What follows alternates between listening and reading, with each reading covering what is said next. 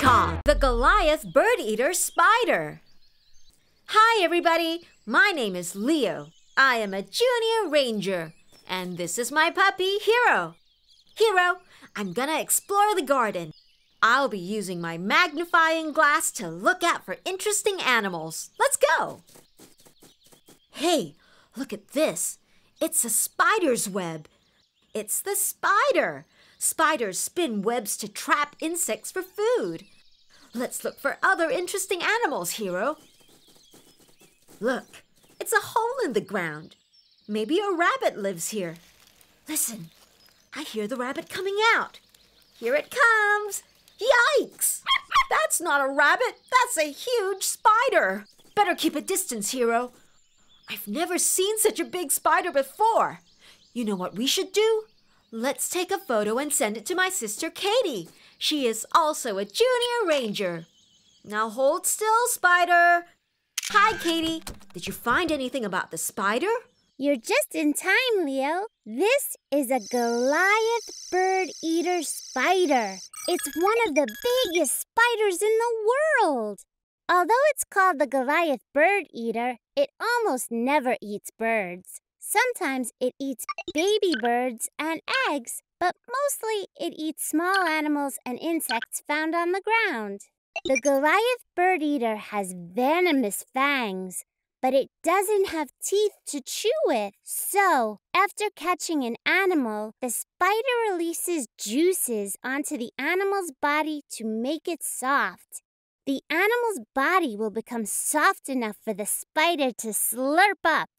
The Goliath bird eater is such a good hunter that it doesn't need a web. It can sneak up and pounce on its prey. It will then bite and kill its prey with its venomous fangs. It's not deadly to humans, but it can be very painful. How come I've never seen such a large spider here before? That's because the Goliath bird eater is usually found in the northern part of South America, where it lives in the rainforests. Our garden is certainly not the place for such a giant spider.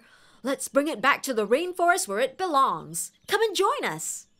That's a great idea, Leo. See you downstairs.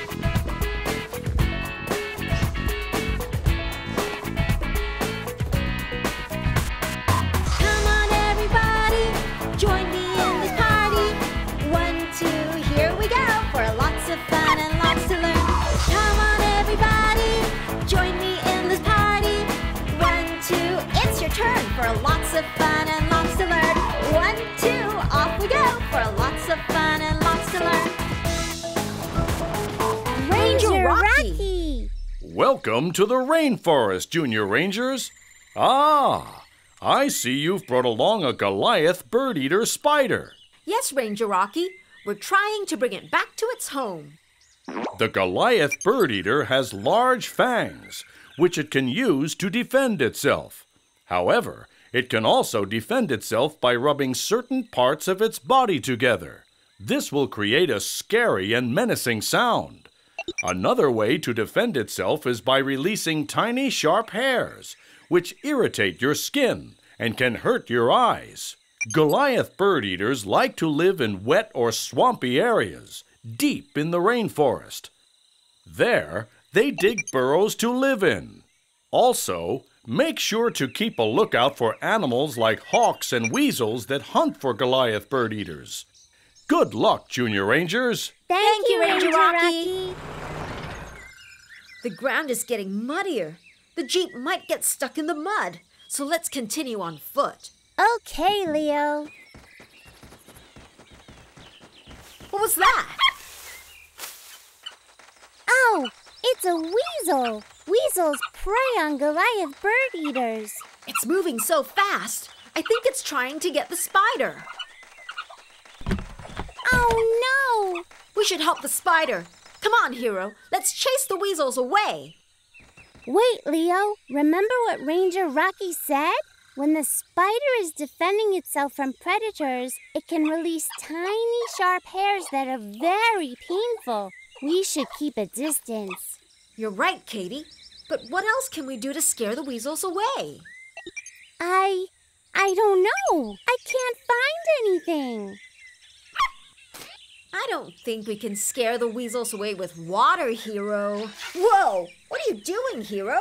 That's a great idea, Hero. It might work if we shoot the water out our bottles. Let's do it. Shoo, weasels! Leave the spider alone! We did it! The weasels are gone! Here you go, spider. Back into the tank.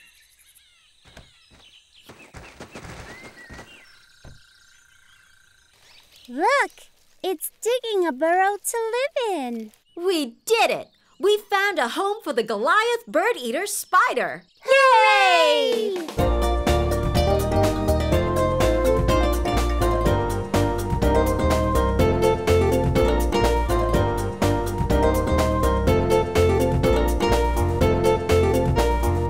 We found a Goliath bird eater spider in our garden. We learned that Goliath bird eaters dig burrows in the ground and that they live in the rainforests of South America. So we brought the spider back to the rainforest where it made a new burrow to live in. Good job, children. You did it. You are amazing wildlife rangers. The Sunda Slow Loris. Hi, everybody. My name is Leo. I am a junior ranger, and this is my puppy, Hero. Hey, what's that sound? Oh, it's a truck. The driver must be in a hurry. What is it, Hero? It's an animal. Don't be afraid. We won't hurt you. Oh, the cage is locked. I'm sorry, animal. I can't open it. You know what we should do?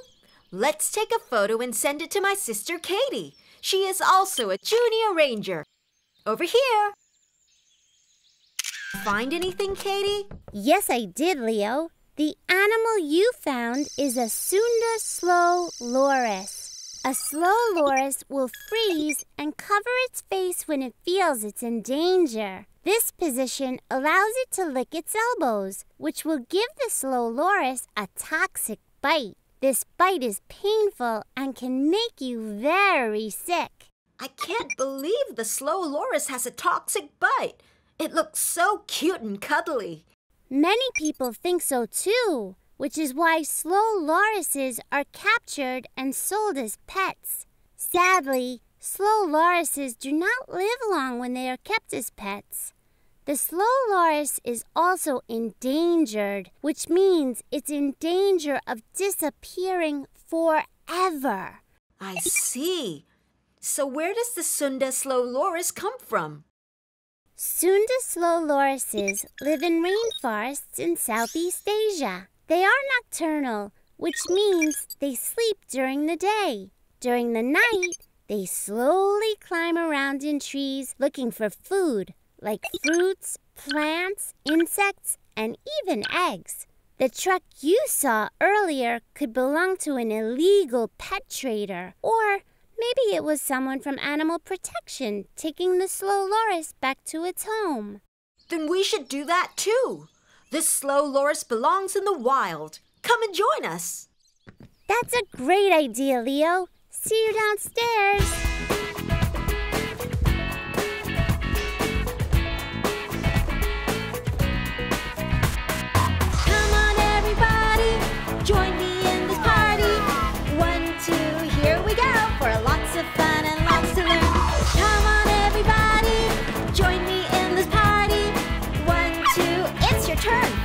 Of fun and lots to learn.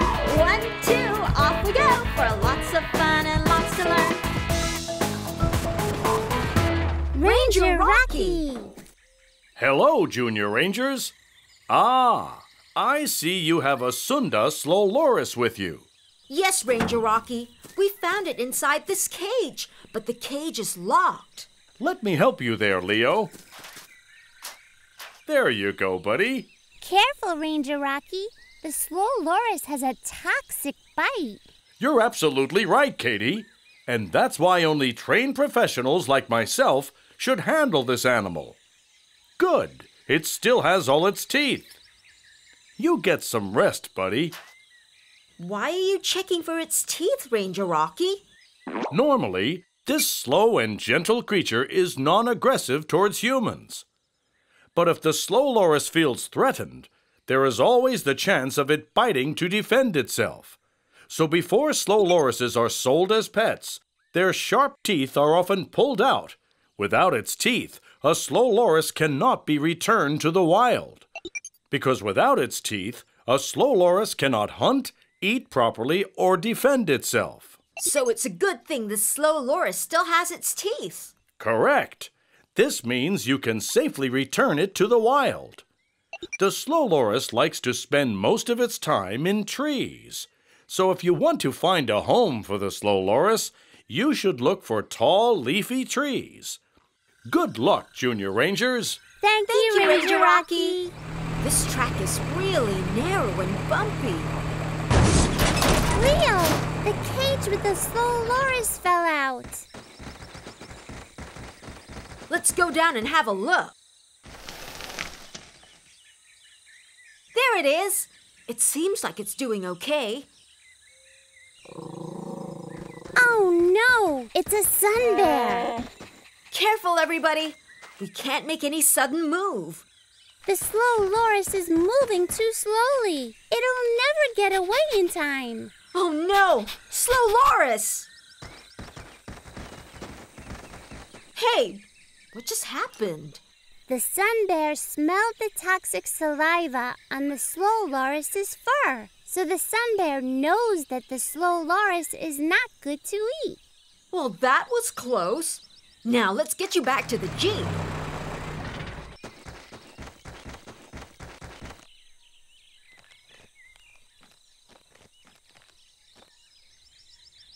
We did it!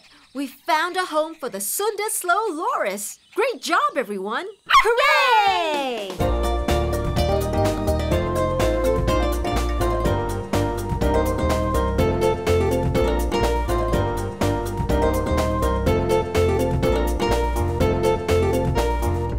We found a Sunda Slow Loris in our garden. We learned that the slow lorises should not be kept as pets, but that they belong in the wild. So we went to the rainforest to find the Sunda Slow Loris a home. Good job, children. You did it. You are amazing wildlife rangers. The honeybee.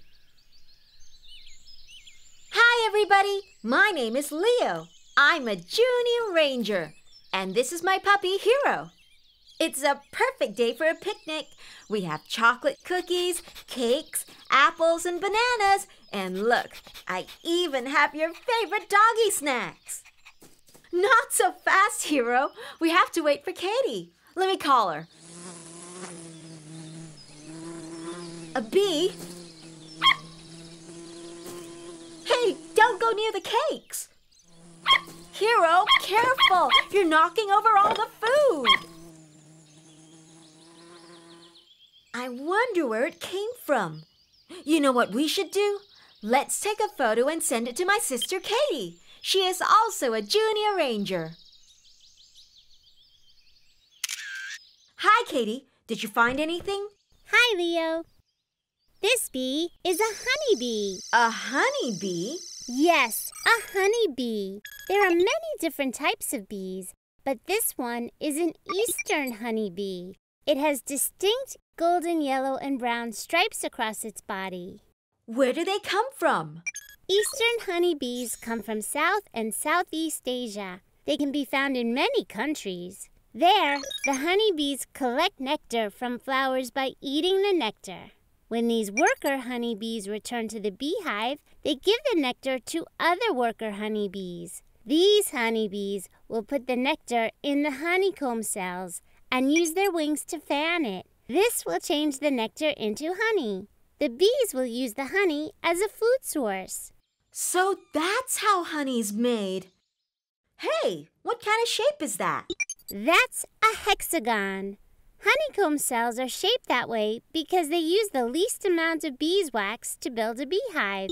Honeybees prefer to build their beehives in small spaces, like hollow trees.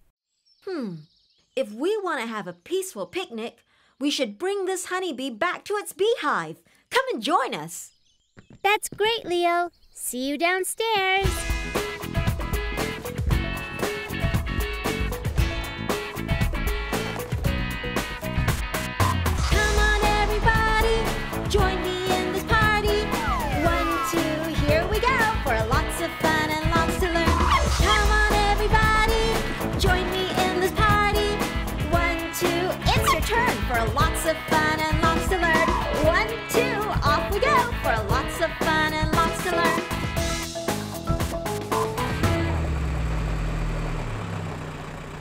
Ranger Rocky. Hello, Junior Rangers. Welcome to the forest. Ah, is that a honeybee? Yes, Ranger Rocky, we are trying to bring him back to his beehive.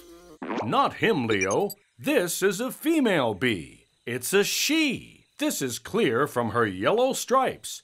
And all worker bees are female. Worker bees are responsible for gathering nectar, building the honeycomb cells, feeding the babies, tending to the queen bee. There's a queen? Yes, the queen makes all the baby bees. It has a longer body and smaller wings. The male bees, also known as drones, are rounder in shape and have bigger eyes. These drones only have one job, which is to help queen bees from other beehives make babies. The drones don't have a sting like the female worker bees do. Uh, Sting? Honeybees only sting if they feel their beehive is in danger. These hard-working creatures just want to protect their colony. Where can we look to help this honeybee find her colony, Ranger Rocky? Hmm. Bees are attracted to brightly colored flowers. Perhaps you can start looking for those. Good luck, Junior Rangers. Thank, you, Ranger Rocky. Here we are at the flower field. I see flowers, butterflies, birds, but no bees. Let's try to look for a beehive in a tree. What is it, Hero? You already found a beehive? Great work! But this bee looks a bit different, though. Careful, Junior Rangers. That's not a honeybee. That's a wasp. And unlike the honeybee, a wasp can be very aggressive. Oh no! More of them are coming out! That's bad news, Leo. Honeybees will die after they sting, but not wasps. They can sting multiple times. You better run. There's some water. Let's take out our snorkel masks and jump right in.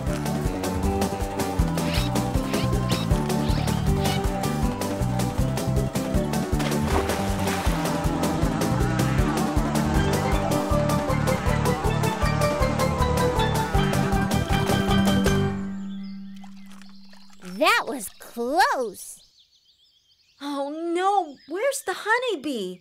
The jar is gone. It's the honeybee. She's hiding in a honeysuckle flower. Come in, honeybee. We'll make sure we stay far away from those wasps. Goodbye, bee. We did it. We found the beehive of the honeybee. Yay!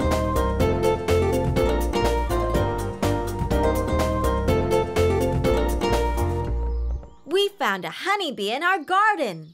We learned that honeybees have workers, a queen, and drones, and that they make honey. So we went to a forest and found a tree with a hollow that contains a hive.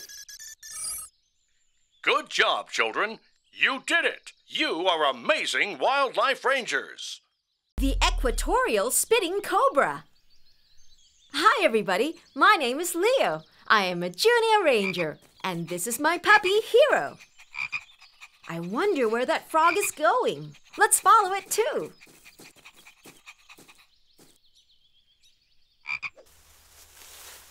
Careful, Hero. You'll scare the frog away.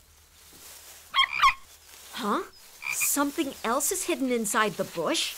Ah, a snake! Better keep a distance, Hero. It's a snake in our garden. You know what we should do? Let's take a photo and send it to my sister Katie. She is also a junior ranger. Yikes! Hi, Katie. Did you find anything? Hi, Leo. I sure did. The cobra you found is an equatorial spitting cobra, also known as a black spitting cobra. It is called a spitting cobra because it is able to shoot venom from its fangs. Venom is a toxin, like poison, and is found in some animals such as cobras. Venom can be passed to a person or another animal through a bite or sting. Many cobras defend themselves by injecting venom through their bite, but a spitting cobra prefers to spit or spray venom at a predator's eyes to scare them away. The spitting cobra wiggles its head the same way your eyes move. This helps the cobra's aim when it sprays its venom. That's scary. Actually, spitting cobras are shy animals. They only attack when they feel threatened. Still, equatorial spitting cobras can shoot venom up to three meters away, so it's best to keep your distance. I'll make sure to remember that, Katie. Equatorial spitting cobras live in different forests in Southeast Asia, where they eat small animals like lizards, frogs, and rats. Hmm, I don't think it's safe for us to be near the spitting cobra. We should return the cobra to its natural home. Come and join us.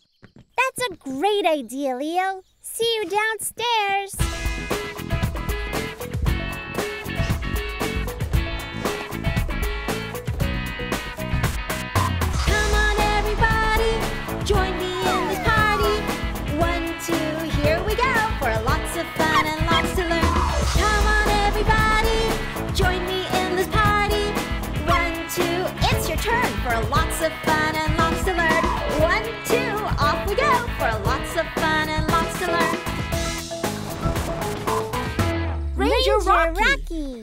Welcome to the forest, Junior Rangers.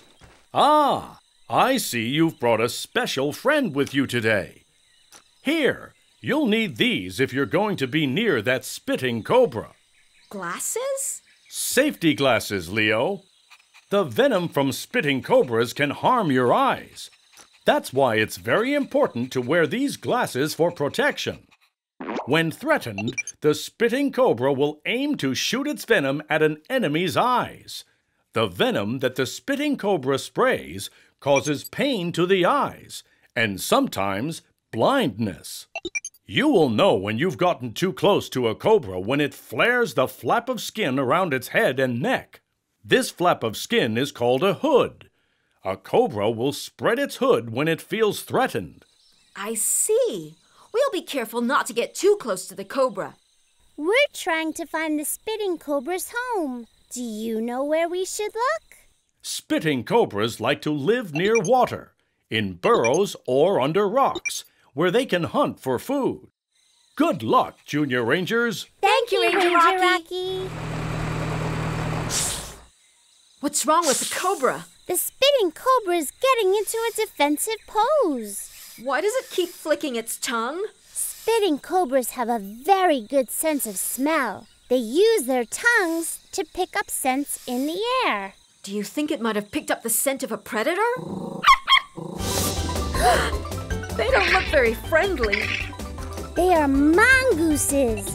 It says here that the mongoose is the cobra's natural predator.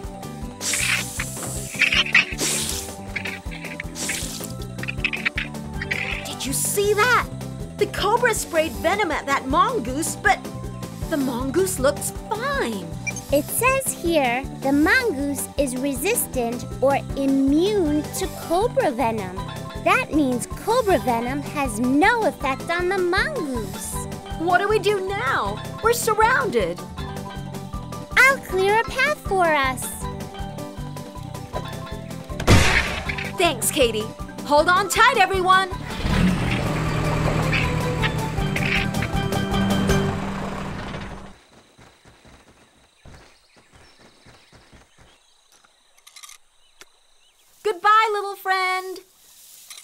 Did it. We found the spitting cobra's home. Great job, everyone! Yay!